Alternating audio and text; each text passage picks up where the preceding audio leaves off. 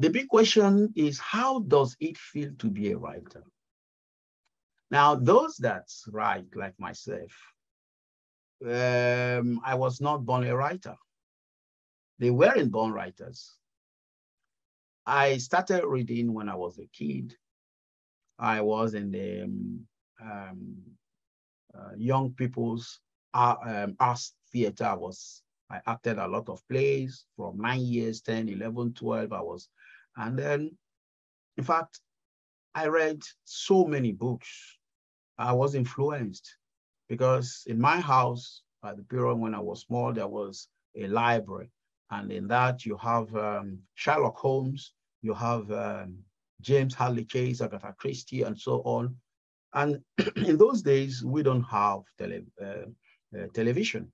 Uh, now you have a smartphone, you have so many distractions. In fact, in the evenings, in late in the night, when the insects are, you know, um, making noise and so on, it's dark.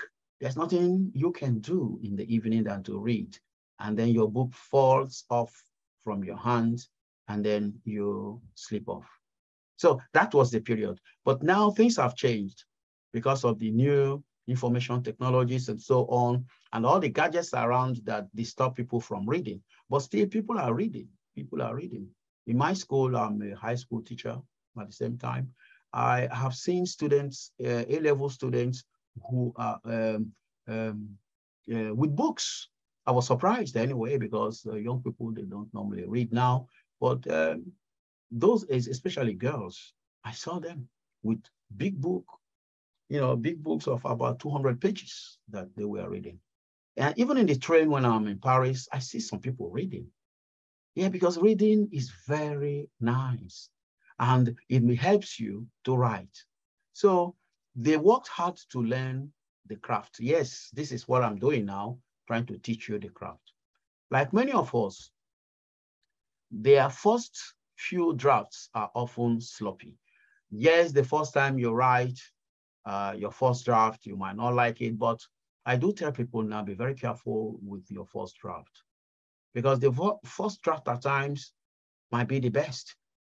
The best way you will know if the first draft is good, when you finish writing or typing now, because type on, on the screen, leave it for about five days or one week and go back to it. You, you, you, you'll be wondering, did I write this? Is it me that wrote this uh, piece?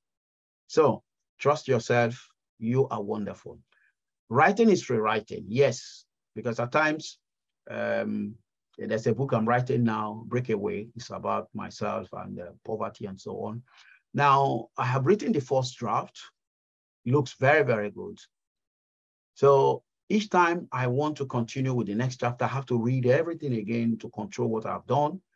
And uh, what I see is that, oh, there's something missing here. So I have to add again and add and, and, and. So this is what is the rewriting. There are some other sentences you might want to take away and so on, but be very, very careful. Do not censor yourself too much because the first draft or the first drafts are always the best.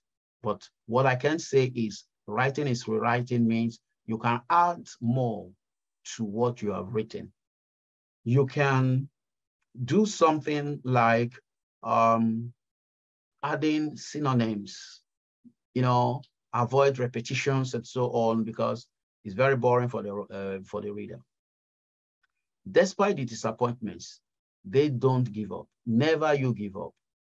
Never, never you give up. Because if you are, um, in, in my own case, you cannot give up when you love something. I love reading, I love writing. And um, it's just like I'm on holiday somewhere when I pick up when, when I pick up a book that talks about a journey or talks about a place. Now you are in your house, you are reading that chapter, you are no more there. It takes you down, it carries you down maybe to New York, uh, where you see the characters moving, except somebody you say, oh, it's time for lunch. And they say, oh, I'm sorry, uh, I'll be there in just uh, two minutes. You see what books can do. And then after reading, you, you will like to reproduce you would like to reproduce also what uh, the other writers are teaching you because they are your tutors. You don't see them, but you're enjoying their books, and that will encourage you to write. Here, they are on a constant journey to learn and improvise. Yes, nobody has got all the keys. Nobody has got the solution. So the point is continue, try, try, try again. And on that, uh, on that constant journey is what we say is you have to be consistent. You have to be consistent in whatever you are doing. Do it every day, every day, every day. And then you see you will come to a successful um, conclusion. They keep a notebook to capture interesting thoughts, ideas, and dreams. I've just said it um, when I started this uh, lecture. Yeah, you can do it in so many ways. Either you keep a notebook. Um, the modern way now is uh, you have your telephone, you can record yourself, you know, and then transcribe after. Any method that works for you, but make sure you don't allow any idea to fly away. Because at times you have wonderful ideas. Before you write it down or record yourself, you've forgotten it. It's gone. And this is the multi-million idea you lost in one second, or a wonderful book you lost. So that's why you have to be very authentic, um, um, uh, uh, um, attentive to, to the silent voice talking to you. You know, the voice tells you, and not only the voice, you hear so many uh, sentences coming or story coming, and uh, uh, um, the good number of friends uh, of my friends writers do tell me I wake up in the middle of the night and start scribbling, and then they go back to sleep. It could be a dream, a nice dream that can turn into a book. So it's very very important. I think the the the idea is the capital is the first thing when you have a good idea of a story, oh my God, you have you tell the story in a very wonderful way. Now they are flexible about changing the direction of their work. Yes, you can change the direction of your work. If you think um, you can write two or three books at the same time, or the one you are, that you are writing, if you feel you are not satisfied, bring out other drafts. But my experience is, personally, is unique to me. The first draft looks better than second and third. Because if you start turning it around before you know it, uh, you must have diminished your work and it does not make any sense anymore. They observe the world around them deeply. Yes, like uh, when I was in the seminary, I wanted to be a priest uh, father director used to tell us, he said, you are for the world, but you are not in the world. So we are observers, just like Charles Dickens during the um, Industrial Revolution was on the other side of the Industrial Revolution. That is um, the disadvantages of the Industrial Revolution that uh, made him uh, write uh, Oliver Twist.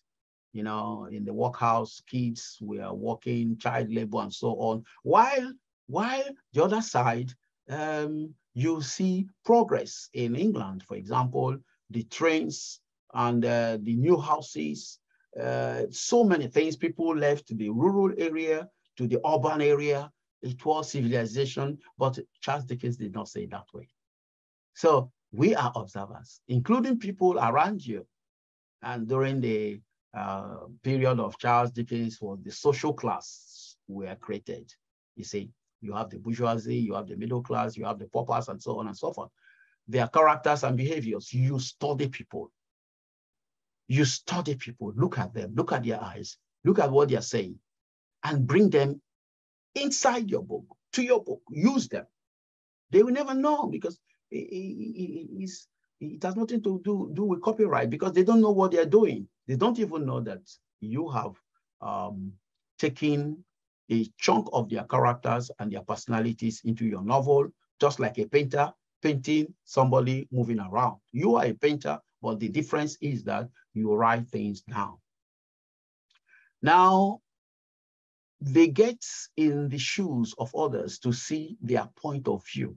Yes, at times you have to get into their shoes, what they must be feeling and why they react the way they do.